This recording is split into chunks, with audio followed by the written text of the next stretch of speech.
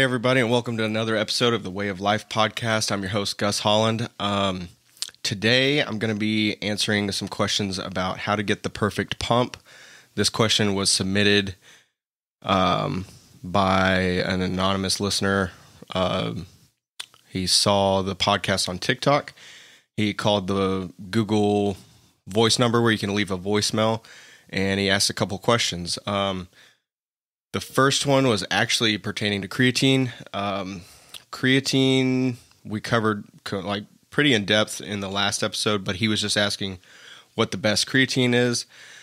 Um, and I would say really any creatine monohydrate that is 100% creatine monohydrate. Um, creatine is unflavored and you can get it for like 30 servings for 15 to 20 dollars. Um, it doesn't matter what brand it is. Um, so with that being said um, how to get the perfect pump? Yeah. There's a couple ways i can go about this but to address it um, i'm going to address it first without speaking about supplements. Um, just like a natural plain pump. And um, there's a couple different reasons you might want to pump. It's um, either normally it's you're trying to impress somebody or you're trying to take some pictures. Um, other than that sometimes it's good to just maybe feeling like down in the dumps. So you just go instead of skipping the gym or taking a rest day, you just do like a 30 minute pump workout. That's going to help you burn calories, but it's probably going to boost your ego a little bit or lift your spirits, maybe, hopefully. You're going to accomplish the best pump, I would say, if you're f- well rested, fully hydrated, and you do about 20 to 30 minutes. It can be as much as 40. Um, kind of depends what you're going to do afterward. If you're just going to a party and you're trying to have like your arms look look good or something, um, then you can accomplish that in like 20 minutes. If you're trying to do like a full body pump, then that might be closer to 40 40 minutes. Uh, but overall, you're going to do lightweight, whatever is light for you, um, and a higher rep range. So you're going to do like 12 to 15 reps of each exercise. Um, normally, when people do pump workout, they're trying to pump up their upper body because um, that's just that's just how it is. A lot of guys are trying to get big arms, you know, or or filling a full chest, you know. You can go and for example, if you're just going to knock out a pump, you know, arm pump workout, um, like I said, that's like 15, 20 minutes. I always like say warm up with at least like, um, I don't know, five minutes of cardio. If it's just like this light pump workout, you don't really need to do any cardio. Um, but I like to do uh, five minutes of like a high resistance bike bicycling or high res, high resistance um or high elevation treadmill with a slow speed. Um but regardless like you're to want to warm up a little bit obviously just so you don't hurt yourself. But then um if you're just trying to pump up arms you can do just as an example i'm to just throw some stuff out there.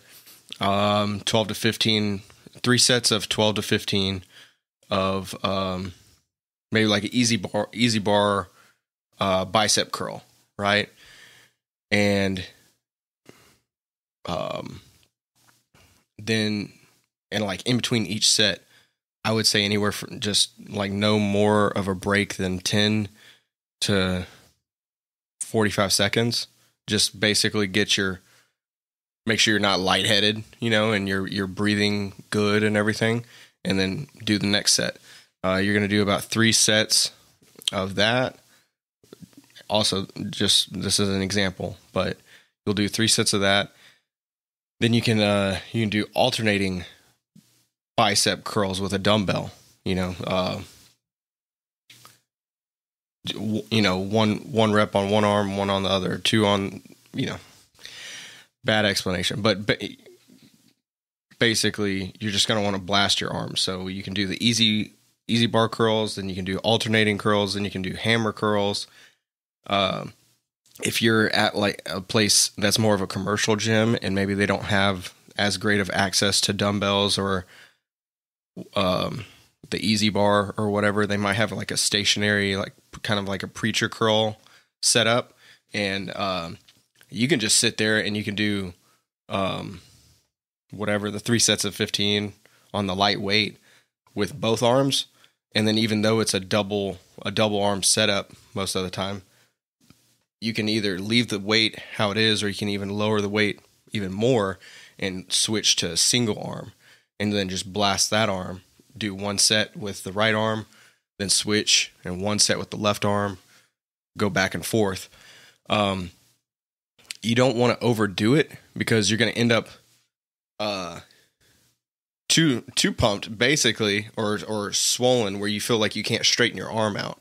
Um so and that's i mean obviously that's just for your bicep but if you're um i would say about three three exercises will do and then you're probably going to want to go hit triceps or you can do triceps first it doesn't really matter um do another three exercises on tricep you know um you, you can do uh, skull crushers where you lay down with the. Uh, I like to use an EZ bar. Um, some people grab a dumbbell, but I prefer EZ bar. And you lay down and you literally just you're only moving at your elbow, and uh, you bring it to your forehead. And it's once again this is a lightweight, so it's safe to do. And if you ever feel like your arm's going to give out or your shoulder or something like that, you can just just drop it behind you so it falls behind, doesn't hit you in the head. Um, or you can always just rest it on your chest.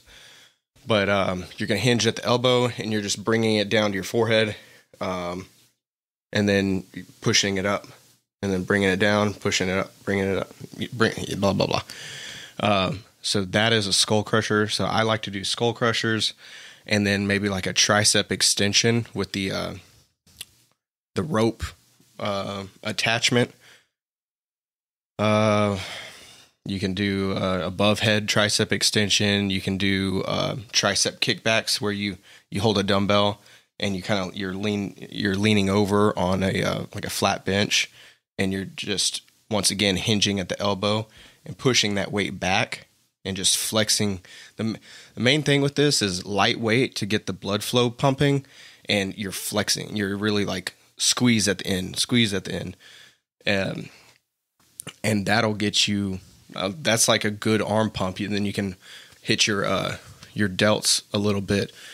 Just do maybe two sets of two sets of twelve front raises, and then side raises, and then um, you could do some rows. Like it just it depends on like how much of your arm you're trying to pump up how much of your your entire body you're trying to pump up.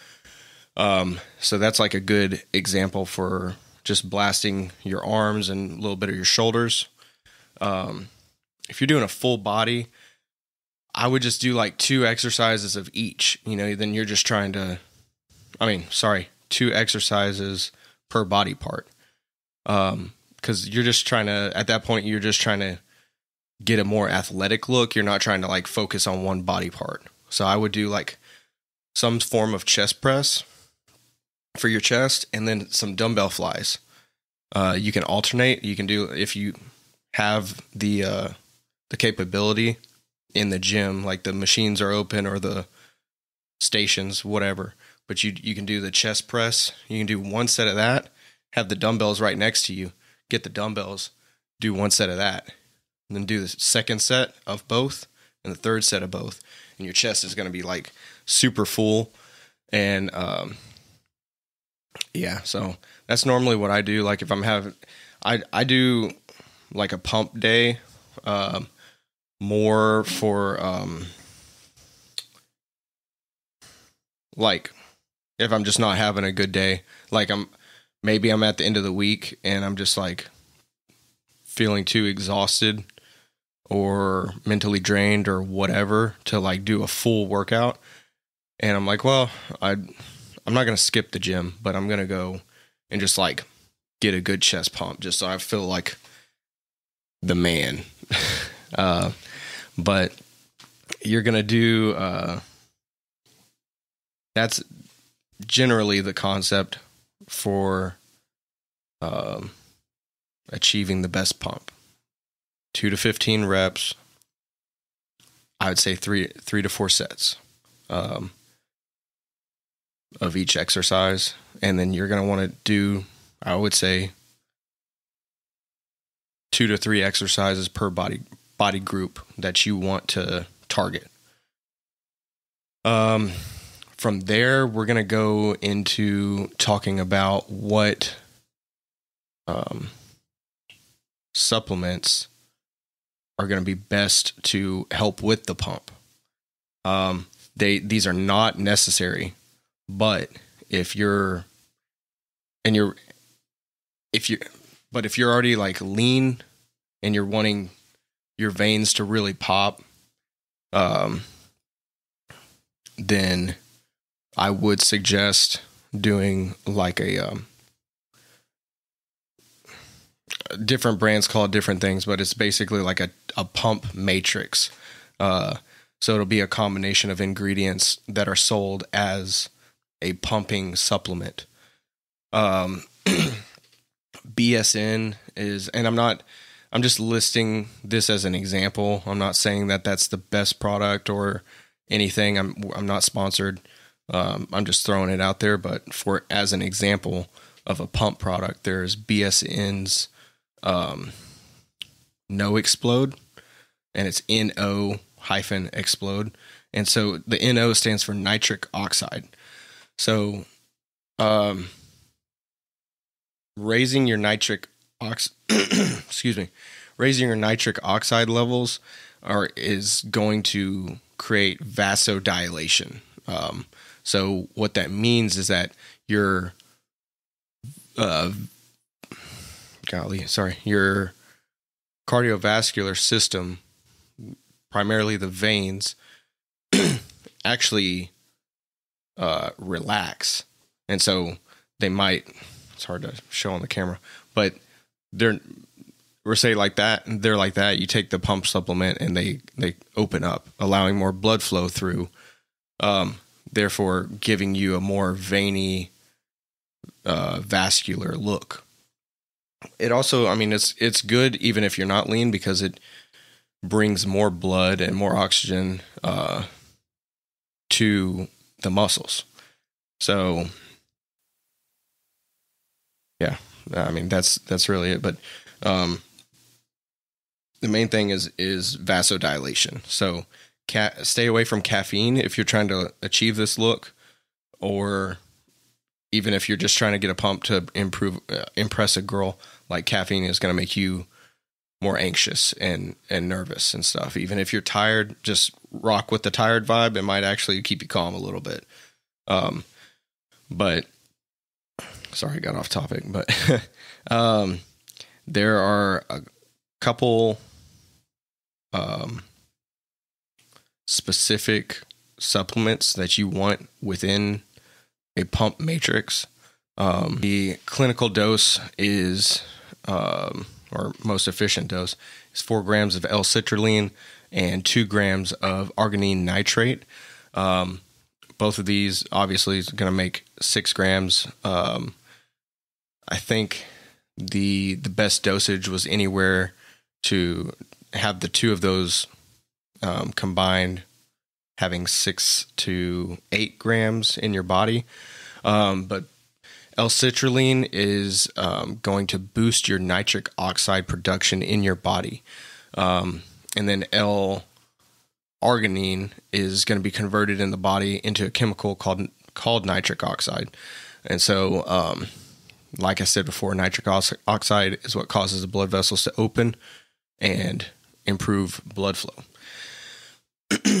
um, those are the two main things. Uh, like I said, citrulline, arginine. The other one is beta alanine. Um, that is a good. It's not necessary in in your supplement, but and and if you if you've ever had a pre workout and you kind of get that tingly kind of itchy or tickly weird feeling, um, then that is from the beta alanine. Um, so you might, if you don't like that feeling, you might want to stay away from products with beta alanine in it. Um, I personally don't get those tingles or weird feelings, so beta alanine doesn't really cause that that problem in me or that or that feeling. It's not it's not necessarily a problem. Um, if that does happen to you, don't worry. It's just it's just a sensation. It's not gonna like do any harm to you uh, unless you take like a crazy amount of beta alanine. Um, beta alanine is a non-essential amino acid, and it's produced naturally in the body. Um, and it it aids in the production of carnosine. Um, that's a product that plays a role in muscular endurance for high intensity exercise. So it's good to have in your system as long as it's, it's allowed um, in your sport or activity or whatever. But it's good to have in your system if you're doing um, like HIIT workouts, high intensity, high intensity interval training. Sorry, um, just like quick and explosive movement. Um, power cleans, uh, sprints, stuff like that. Um, uh, the other um, supplement that can be within these matrix is called I pr- pronounce it betaine. Um, it's B E T A I N E. Um, the full name is betaine anhydrous. Um, there is also, um, I guess, a more scientific name for it, and I'm not quite sure how to say it. The abbreviation is TMG. It's tri, tri oh trimethylglycine. Um, anyways, this is a substance substance that is made in your body as well, but um, it's involved in liver function, cellular cellular reproduction, and helping to make carnitine. Um, it also helps your your body metabolize um, an amino acid called homocysteine. Uh, the FDA has approved betaine to treat genetic conditions uh, where people create too much homo, homocysteine uh, and it and it builds up in their in their body. Um, those are the main things I've seen people. I've seen companies um, incorporate caffeine into their workout. I mean, into their pump supplement, and this is that's actually gonna constrict your. It's it's gonna work against your pump. So, although it it kind of like it might raise your heart rate, um, and kind of make you feel less tired it's still constrict it's a it's a vasoconstrictor so caffeine is is a great supplement to have and i love it and most people i know love it but as far as when it comes to getting a pump i would stay away from it. Um the that really i mean that really covers it. I mean there's a lot of things that people will add to um, pump supplements or other supplements uh, in fact. But if you ever just be real careful um, if you're uh, sorry if you're looking at a, at a product and they have some sort of like patented whatever they'll they'll call it like mega power matrix and it lists like all these ingredients within it like 20 ingredients and then it'll say 7000 milligrams and you're like whoa that's seven grams of um you know you're you're confusing it with that it's seven seven grams or seven thousand milligrams of the essential things that you need for a good pump. But lots of times companies will do that so they can they can hide their formula. Um, so it, it can be good or or bad because that's good for the company to protect, you know, how they make that product, and it might be a really good product, but it's also a way for them to hide. Like if you're looking for something with at least four grams of L-citrulline and at, at least two grams of um, arginine, then that that kind of hides that from you. So you might think, well, it's at least it's probably at least got four grams of this and two grams of this, and the rest is those other 18 ingredients are sharing a, um, a gram or a thousand milligrams. Um, and that's a lot of the times not the case. So you, that's a good way for companies to kind of like skimp on product and say, oh, well, it's actually one gram of L-citrulline, one gram of arginine, and the other five grams is just added bullshit, you know, um, for lack of a better term. I mean, it's it still might help you in some way, but it's not. You're not achieving achieving like the optimum dosage, basically. Um, if you're not looking to spend money on a specific pump form uh, product, you can buy L-citrulline and L-arginine by itself, and then all you got to do is just take the corresponding values. Like try and get four grams of citrulline, two grams of arginine. Try that out. Make sure you consume lots of water because you want to stay hydrated, um, and just be safe in the gym. You know, but always like test what works for you. You know, um, same with the beta alanine. I mean, it's it's not none of this is necessary, so you don't it's okay to kind of baby step into it basically. Like try a little if you've never had beta alanine try a little bit uh, and if you start getting all the itchy tingles and stuff like that and you don't like that then now you know don't take that.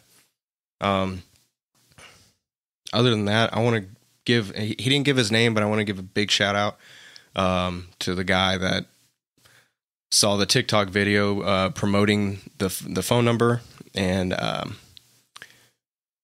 yeah, I just want to I want to say thanks for submitting some questions. Um, all right, guys. Uh, thank you so much again for another awesome episode, or for listening. I guess for listening to another awesome episode. But y'all have made this truly amazing. Um, if it weren't for the support of y'all, um, I don't know. It, it's just I would keep going just because I'm stubborn, but it's freaking amazing. Um, been getting a lot of comments, uh, voicemails on the phone number, and ratings and stuff. Um, if you have any questions, comments, whatever, at the moment, I'm pr- at the time at the moment I'm trying to um, primarily cover supplements. So if you have any supplement questions or any questions about the podcast, um, the number to call is 346 200 7168. So that's 346 200 7168. Um, it's just going to go straight to voicemail and just leave whatever question you want. Uh, you don't have to leave your name. I don't need any of your personal information. Um, so it can be anonymous or not. If you want your name mentioned in the podcast because you submitted an awesome question, that's cool, but make sure and put that in the message.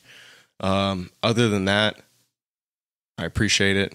Uh, you can follow us on Instagram at um, Whey of Life Podcast. Um, also, ratings and reviews really help. And the best way to help is actually to spread the word. Send this to any of your friends, family, or whatever that um, you think would enjoy this. All right. Well, um, thanks once again. Love y'all. Bye.